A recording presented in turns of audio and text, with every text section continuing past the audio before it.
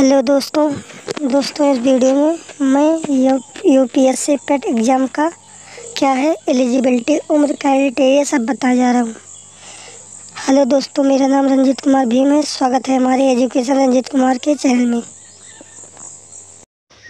दोस्तों, कुछ महीनों से आप पेट एग्ज़ाम के बारे में सुन ही रहे होंगे। पेट एग्ज़ाम क्या है?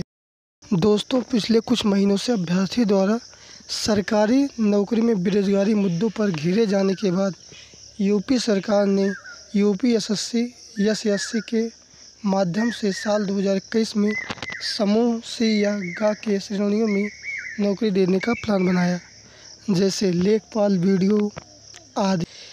इन्हीं नौकरियों को ध्यान देते हुए उत्तर प्रदेश सरकार ने पेट एग्ज़ाम कराने का फैसला लिया। U P S S C PET का फुल फॉर्म होता है प्रिलिमिनरी एलिजिबिलिटी टेस्ट है। हिंदी में प्रारंभिक पात्रता कहते हैं। पेट एग्ज़ाम से संबंधित कोई नोटिस या अपडेट के लिए official website U P S S S C G O भी इन पर विज़िट कर सकते हैं। पेट में ट्रिपल सी का पास होना ज़रूरी नहीं है। यह परीक्षा साल में दो बार होगी। सौ प्रश्न होंगे। समय सीमा रहेगी एक सौ बीस मिनट, यानी दो घंटे। नेगेटिव मार्किंग होगी।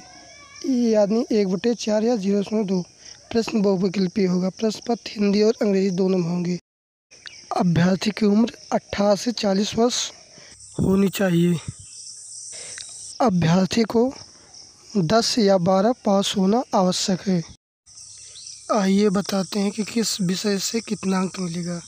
भारतीय इतिहास से पाँच, भारतीय राष्ट्रीय आंदोलन से पाँच, भूगोल से पाँच, भारतीय अर्थव्यवस्था से पाँच भारतीय संविधान और लोक प्रशासन से पाँच नंबर मिलेगा। सामान्य ज्ञान जी के पाँच नंबर। प्रारंभिक अंगणित पाँच नंबर। सामान्य सामान्य हिंदी से पाँच, सामान्य अंग्रेज़ी से पाँच, रीजनिंग पाँच, समायिकी से दस, सामान्य जागरूकता से दस। हिंदी हिंदी गद्यांश व्याकरण, ग्राफ की व्याख्या एवं विश्लेषण, तालिका की व्याख्या एवं विश्लेषण।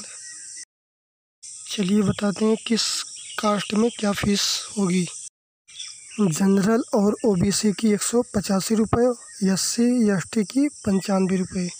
ऑनलाइन आवेदन कराने की तिथि है, पच्चीस मई से स्टार्ट थी, उसके बाद इक्कीस जून आखिरी थी, लेकिन अभ्यर्थियों को एक नई खुशखबरी बताते हैं कि पच्चीस जून तक आप आवेदन कर सकते हैं आप। दोस्तों, इस, ये वीडियो आपको कैसे लगा? हमको कमेंट बॉक्स में ज़रूर बताएँ। और चैनल को सब्सक्राइब करें। लाइक और कमेंट करना न भूलें। धन्यवाद।